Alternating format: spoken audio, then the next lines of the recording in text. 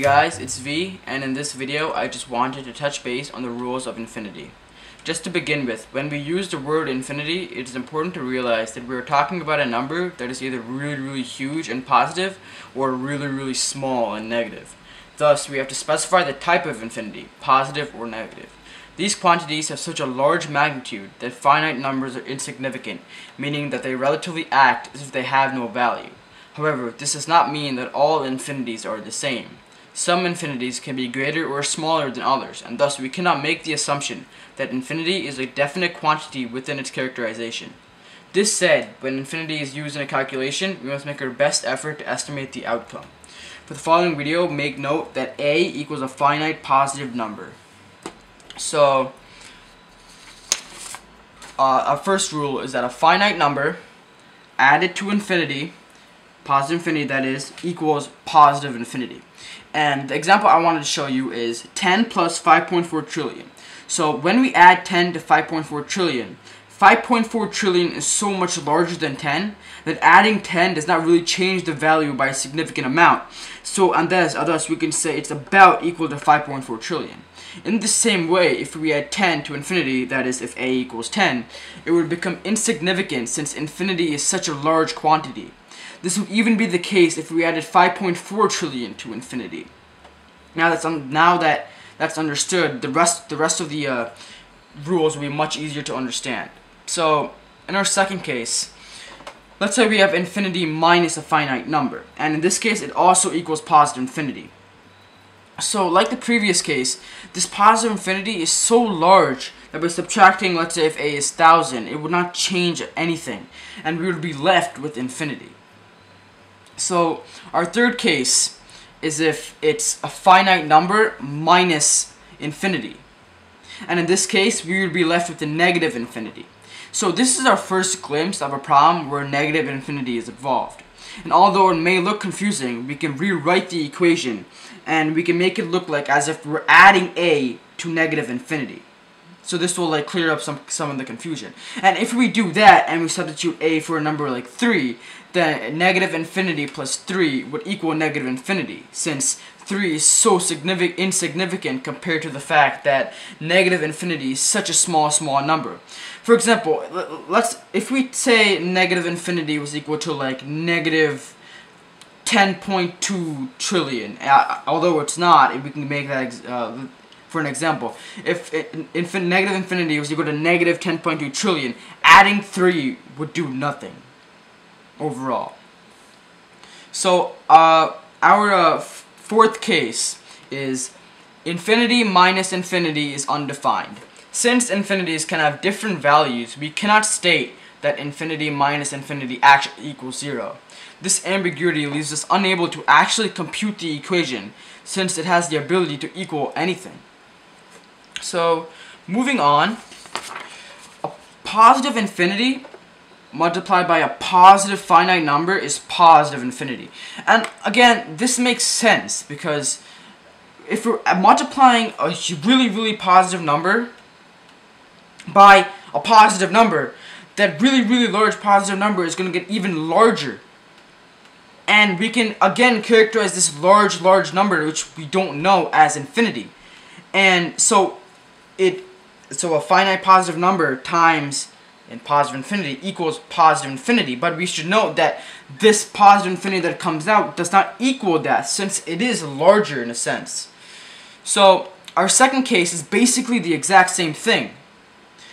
A finite number times negative infinity. So now that negative sign, all it does is that it changes the outcome. For example, in the first one, we noted that a, a positive times a positive equals positive. But in this case, positive times a negative equals negative infinity. And this also makes sense because this also can be looked at as positive a number multiplied by negative infinity. And let's say if the positive, if let's say it's 4 times negative 3, the negative 3 gets more negative since 4 times negative 3 is negative 12.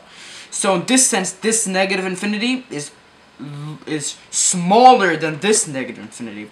And we can also flip the case and make it so that a, this, this value, negative a, is a negative number, since a is a positive finite number. And in this case, we're multiplying a negative number by positive infinity. And since negative times a positive is negative, we would be left with the negative infinity. So our next case is when uh, a positive infinity, sorry, our next case is when negative infinity is multiplied by a negative finite number. And in this case, the negatives cancel out and we're left with infinity. Again, let's say it was not infinity and it's negative 4 and a is and negative a was negative 3. So it would be negative 4 times negative 3 equals 12. We're left with a positive number and that makes sense.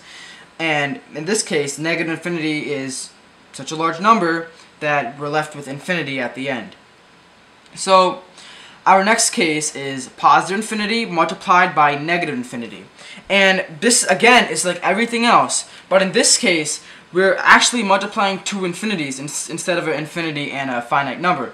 And that's just like saying infinity squared. And remember, infinity is such a large number that this is basically stating we're putting two large numbers and we're multiplying them together. And by God, that will give you such a large, large number that we can also define that as infinity. And in this case, this sign makes this entire equation come out to be come out to have a negative value or negative infinity. So the next case is when a positive infinity is raised to a power of a or a positive finite number. So like infinity squared, infinity cubed, infinity to the fourth. And in this same case, we're making we're multiplying infinity by itself and we're making it an even larger number. And so we can still name this positive infinity since any positive number raised to a positive uh, positive another positive number would always become positive. So for the next case, however, this is not the case since it's a negative number within the uh, parentheses, and it's the same the same rules apply since it's a infinity and it's a really really small number. Multiplying it by itself would it would also give an infinity, but the sign depends on the on the on what value a is. If a is an even number, then we would be uh, our outcome would be positive infinity. But if it's an odd number, it would be a negative infinity. So keep in mind that all I'm saying for these two is that when you multiply two infinities together, the infinities are so large that you're basically multiplying two humongous numbers together and you're to get a really, really big number. And we can label this really, really big number as infinity. And although those two, the, the outcome and what we initially uh, uh, raised to an exponent is the look that have the same name, they're different values.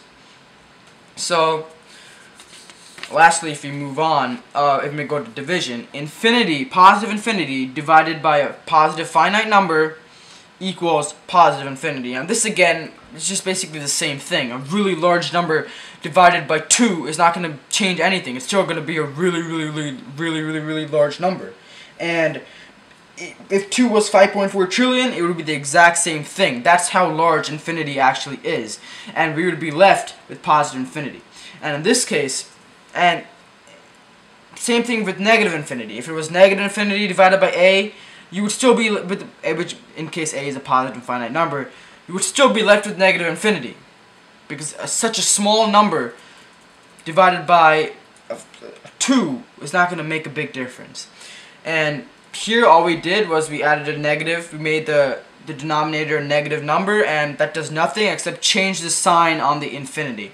So in this case, positive infinity over a negative finite number would give us negative infinity. And that's like saying 12 divided by negative 3 equals negative 4. Same thing. So now the last case is positive infinity divided by positive infinity, or you can even say positive infinity divided by negative infinity. And since, um, like before, since it seems like infinity over infinity would be equal to 1, this is untrue, and because infinity can be of different values.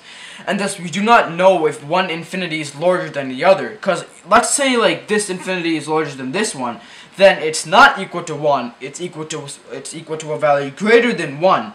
And like the previous case, when it's infinity minus infinity, we do not know what the exact value is. And thus, we have to label this as D and E, or does not exist.